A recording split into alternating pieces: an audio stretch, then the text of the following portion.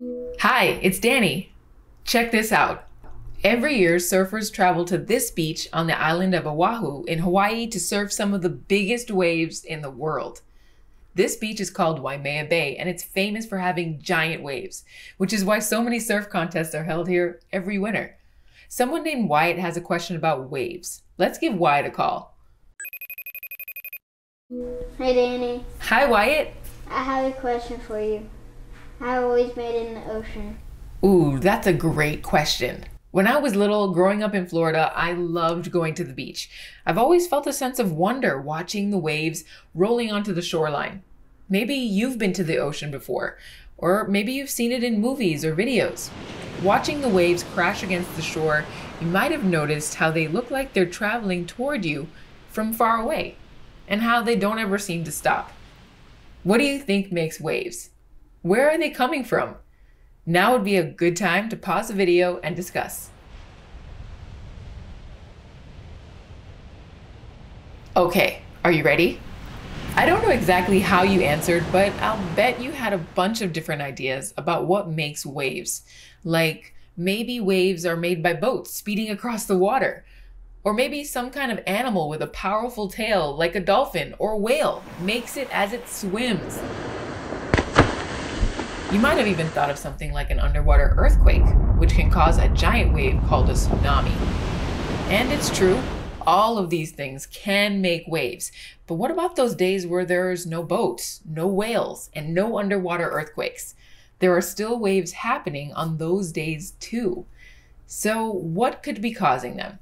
One clue is to look at much smaller body of water than an ocean, something like a pond or a lake.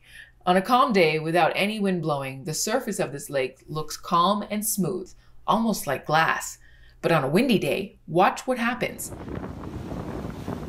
The surface looks choppy and the water is sloshing all around. And look, there are some little waves. As the wind blows, it breaks up the smooth surface of the lake, creating ripples, kind of like when you jump into a swimming pool or throw a rock on the surface of smooth water. Even splashing in the bathtub makes ripples like these. And when the wind blows, the ripples grow until they become big waves. So, could wind be what's causing most of the waves we see on the ocean? Definitely. If you visit the ocean on a windy day, the waves are probably bigger. On a calm day, the waves are probably smaller. This is because stronger winds make bigger waves, something kiteboarders know all about.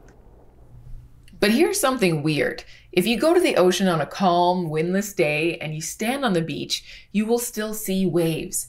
And sometimes they might be really big waves. So, what's up with that? Well, scientists who study oceans, they're called oceanographers, were curious about this as well. So, they set up wave observation stations on different islands to track waves. And what they learned was mind blowing. They saw that those waves could travel from one side of the world to the other. So, when you see waves at a beach on a windless day, those waves could be caused by winds from far away, even thousands of miles away.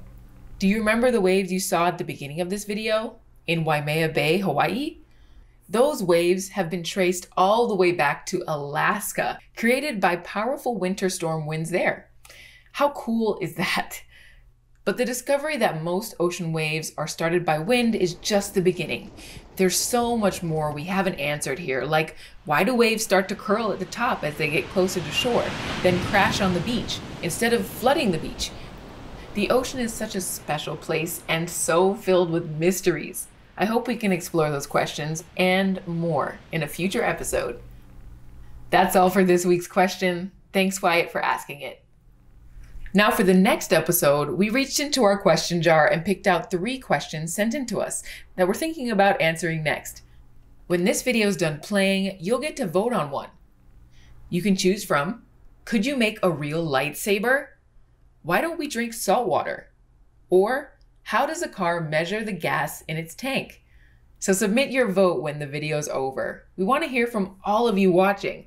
There are mysteries all around us. Stay curious and see you next week.